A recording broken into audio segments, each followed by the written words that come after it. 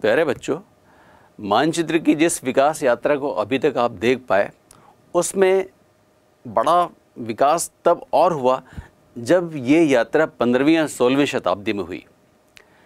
पंद्रहवीं शताब्दी में एक बड़ा नाम इतिहास में आता है, क्लाडियस टॉलमी का।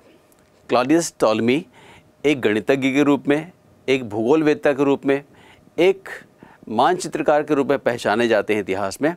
उन्होंने मानचित्रों पे बहुत काम किया। उनकी एक किताब आई। उस किताब का नाम था जोग्राफी ऑफ़ क्लॉडियस टॉलमी ये किताब दुनिया में नक्शों को समझने में एक बड़ी महत्वपूर्ण भूमिका निभाती थी। इस किताब का महत्व इतना ज़्यादा था कि दुनिया की बहुत सारी भाषाओं में इसका अनुवाद हुआ। लोगों ने इसे बहुत गहराई से समझने की कोशिश की। और यही कारण था कि इसे समझने और इसके विकास के लिए तब बहुत सारे स्कूल खुले, जैसे Germany school, British school, France school, ऐसे स्कूलों की स्थापना हुई। उद्देश्य था नक्शों के ज्ञान को समझना, उसे विकसित करना और उसे अपने देश के लिए अपनी जगह के लिए इस्तेमाल करना। ये जो बात हुई, उसके पीछे एक बड़ा कारण था। आपको याद होगा, वास्को डी गामा ने भारत पहुँचने के लिए एक बड़े लंबे रास्ते का उपयोग किया था। वो चाहता तो भूमध्य सागर का इस्तेमाल करते हुए बहुत आसानी से कम समय में, कम खर्च में हिंदुस्तान के पास पहुँच सकता था। लेकिन एक बड़ी वजह थी कि अरब के लोगों ने भूमध्य सागर का, के रास्ते का इस्तेमाल करना प्रतिबंधित कर रखा था। यही वजह थी कि यूरोप के बहुत सारे लोग नए राष्ट्रों की तलाश कर रहे थे ताकि वो दुनिया के अलग अलग हिस्सों के साथ संपर्क स्थापित कर सकें। इसी बीच सोलहवीं शताब्दी में एक और बड़ा काम हुआ। एक देश, जैसे आप हॉलैंड के नाम से जानते हैं, वहाँ पर व्यापार के लिए काफ़ी विकास की संभावनाएँ उसमें पैदा हुई और एक बड़े व्यापारिक केंद्र के रूप में इसका विकास हुआ। इसके लिए उन्होंने समुद्र के बड़े हिस्सों में अपना वर्चस्व स्थापित कर लिया था।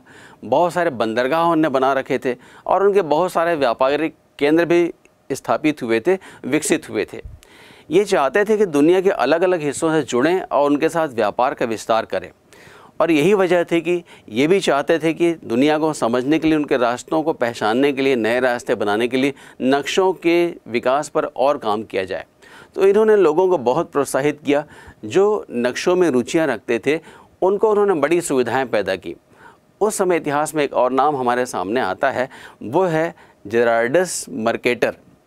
जेरार्डस मर्केटर ने तब तक बने हुए दुनिया के तमाम सारे नक्शों का बहुत बारीकी से गहराई से अध्ययन किया उन्हें समझने की कोशिश की उनने काफ़ी सारे संशोधन किए।